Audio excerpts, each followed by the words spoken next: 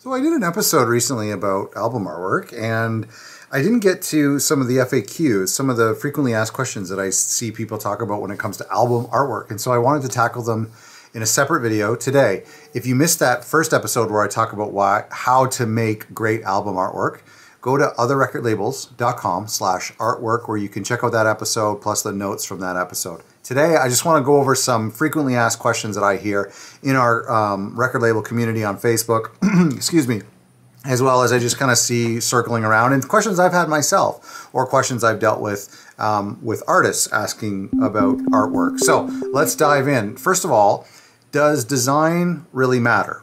Does album artwork really matter? Well, some musicians feel like art doesn't matter. It's um, but for me, it's one little thing, and I think that's a lot of musicians and people and record labels think, well, it's just one part of the whole puzzle. But that's to me why it does matter, and that's what I believe in marketing. Marketing is kind of and great, great things are made up of of lots of little great things, and so to me, album artwork is just one of those things. It's like mastering. Is mastering important? Can you, God forbid, could you listen to an album that hasn't been mastered? Are there albums on Spotify that sound great?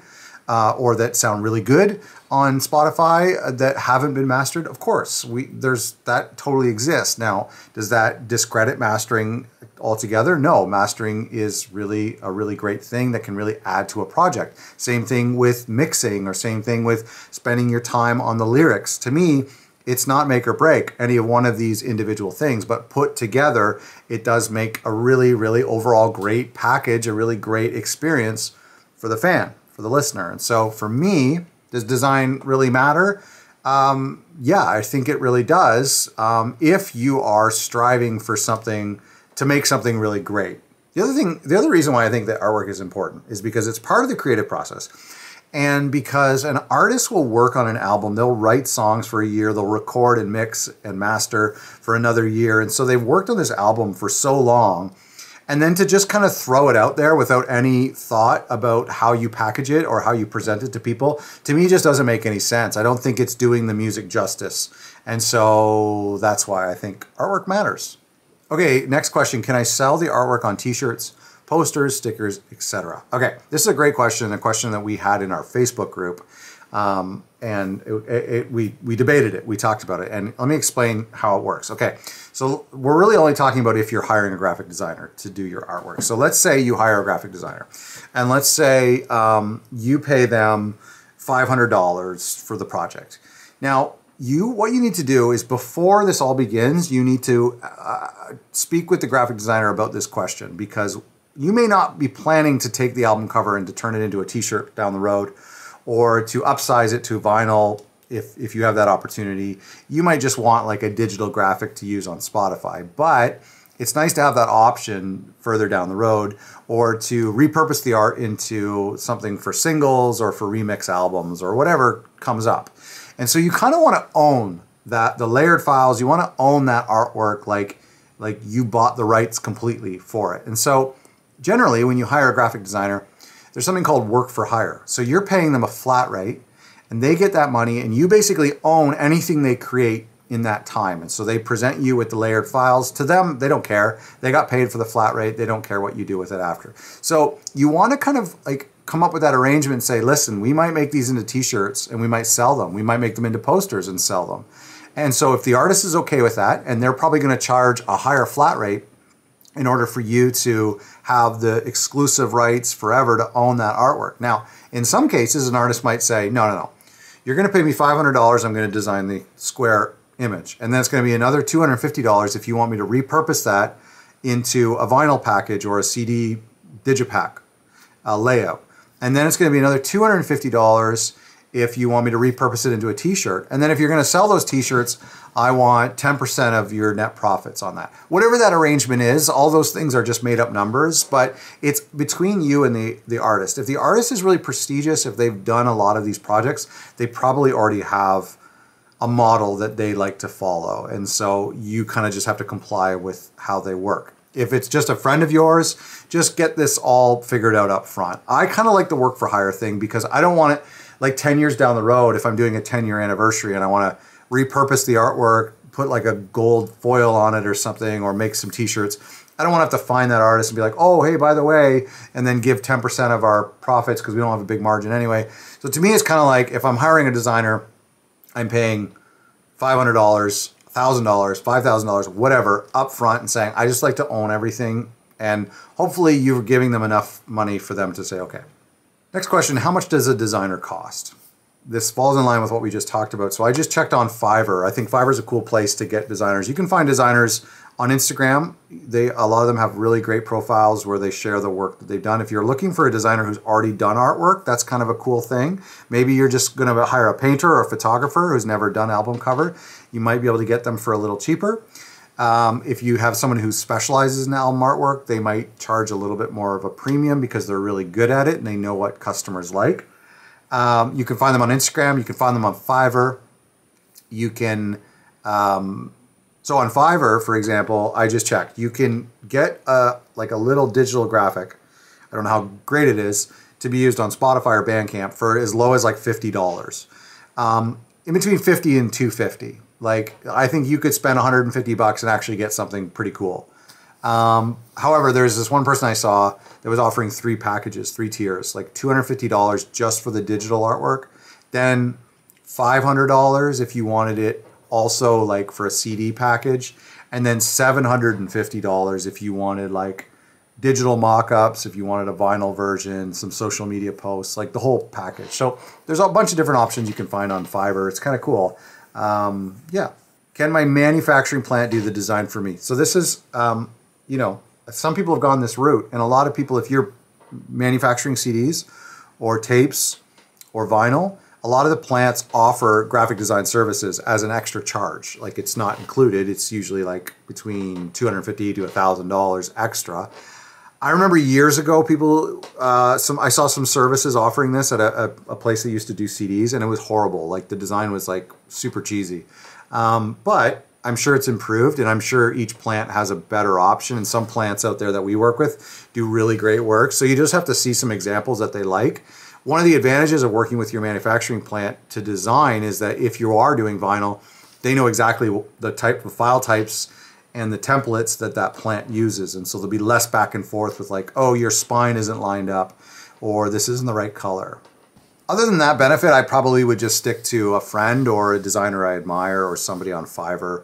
I don't know. What's the difference between RGB and CMYK? So I've been a designer now for quite a long time and I know what this is, but I often forget about it because I start designing digitally. So RGB is kind of like your the digital representation of color. It start, stands for red, green, and blue.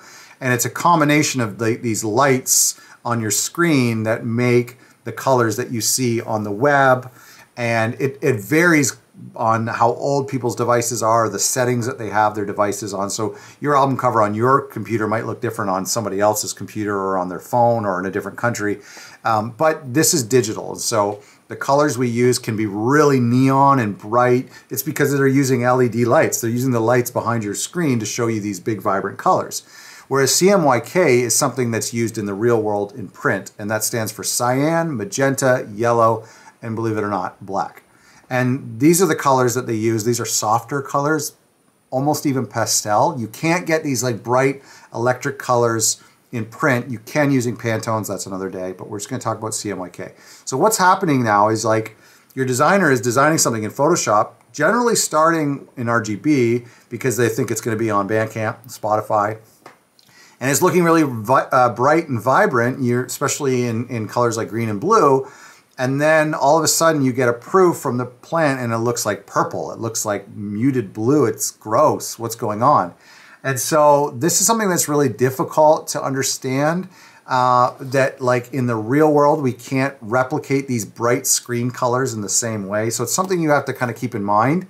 Um, you can when your designer is designing, they can change the template or the canvas to to be in CMYK, so it'll never allow you to make those bright, vibrant colors. You can do kind of two different versions. You can make like a print version and a digital version. It's not that big of a deal. In photographs, you don't really notice it too much. It's just when you're doing like art with really vibrant colors, they transfer a little bit muted unless you use um, Pantones, but we won't get into that today. Can I design the artwork myself? Sure, you can use Canva. Canva's great nowadays. Uh, it's putting designers out of business, I'm sure. You can use paper and scissors, like our friends at Painted Blonde do. Uh, they hand make all of their their album covers. I think that's awesome. Um, you could, uh, you know, just make sure that you are investing in your label at all times, investing in your artist, that you're not doing it yourself to skimp and to save money because you think you're a good designer, because you're probably not. But I do understand that like lo-fi music calls for lo-fi art. I do understand that some genres and some cases like EPs and live stuff that may require DIY approach.